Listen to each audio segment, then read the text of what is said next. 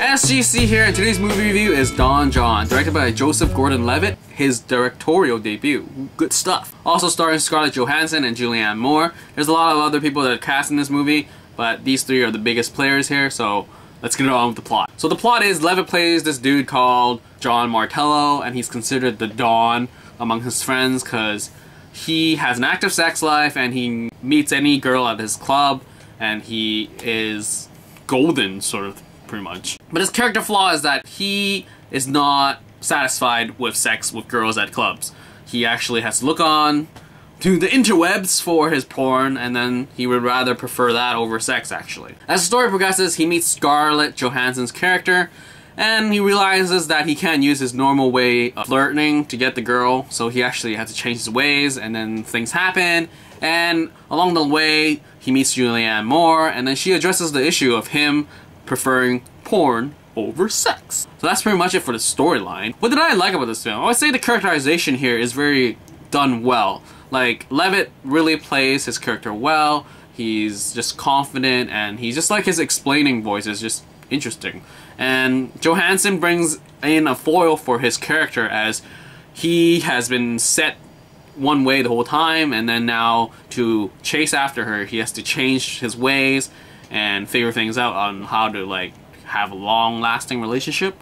And also Julianne Moore does the same thing but in a different sense where she addresses his I love porn more than sex. And it just plays well that, that, that these two female characters are building and fleshing out more of Levitt's character. So I would say that was done well. Also, there, the shots in this film, I would, I, I really find it interesting because there's a lot of repetition um, of shots of daily life, his weekly life of Levitt's character, where sometimes where he's going to the gym, there's a shot of him walking down the corridor, and it's always that shot. And this scene happens over and over again. But when things changes in his life, say he hooks up with Scarlett Johansson, they both come down the corridor, and it was interesting. There's also other shots about going to church, going into the club, and you know, going on the interwebs. So I feel there's a social commentary that's done well in this film that addresses pornography and masturbation, which is, I don't think a lot of movies even do talk about. But it just addresses how Levitt's character, who is a Catholic, is doing all this stuff despite him going to church. Because I think when you're not a believer of faith, you would have your stereotypical view of like, oh, this is what Catholics are supposed to be like. They're very godly, they do Hail Marys, they go to the church, they talk to the Pope or whatever. And they're not supposed to touch all the sex stuff because it's like against the Bible, what have you. But it just addresses how, you know, people that go to church still have to have their stuff done, take care of. Like, I guess everybody else that just because you go to church doesn't mean you are exempt from having, you know, going to going to clubs, drinking, swearing, you know, dissing each other. Like it, it's like it addresses that Catholics or just people of faith aren't perfect beings. So I think that was interesting. And also there was this one, there's this slight like detail that I really appreciated was how um, Levitt's Levitt's character's sister like texts us in service all the time throughout the entire movie. And I find that that's hilarious because that's what actually happens at church in service sometimes. I see it and it's just like, wow, cool stuff. I saw it in the theater and I saw it in real life. So what I didn't like about this film probably was the whole pornography like angle where it's pushed upon you so much times. Because I mean, there could have been inferred that he went on the web. I mean, you show a lot of scenes, but sometimes there's just too much, just just sex, sex, sex, but they don't show anything in terms of like how he's reacting. It's just like snippets, a montage of just you know watching porn, and sometimes it's kind of overdone and too much for for my taste.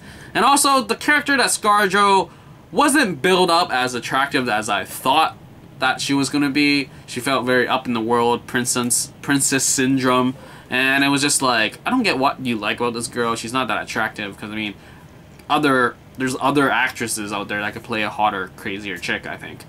So pretty much this is the the movie. I mean, I enjoyed the whole like addressing that what guys go through because I mean, masturbation and pornography is a thing that all guys or most guys goes through and girls goes through too. And it's just interesting to see how like the mentality of like Levitt's character and his friends where they're like you watch porn and your girlfriend didn't like it what the heck sort of thing and I guess for this film um, I think it, you would appreciate even you there there'll be different levels of appreciation depending on how you view masturbation and pornography. Because, I mean, if you never like that stuff, like, do not want to talk about it, do not want to think about it, because you just don't want to, like, deal with it, watching this film is going to make you, like, cringe a lot and go, like, uh, why am I here, sort of thing. But if you're, like, a dude that just, like, have experienced it, and you, you understand, sort of thing. And I don't know why I'm talking about this stuff, but it's just, like, what else can you talk about with this film? Because it's about pornography and masturbation. And relationships and addictions. And also, yeah, so I mean, if you go into this film watching it just for Joseph Gordon-Levitt, I don't know if you're gonna be entirely impressed. You might be just like, that's too much of everything else but Joseph Gordon-Levitt. But he's, I don't know, he's cool here, I think. Anyway, so that's pretty much it for this Don Jon movie review. Talked about more about stuff that I didn't think I would ever talk about ever in a movie review, but here we go, and I did. Anyway, that's all for this movie review of Don Jon.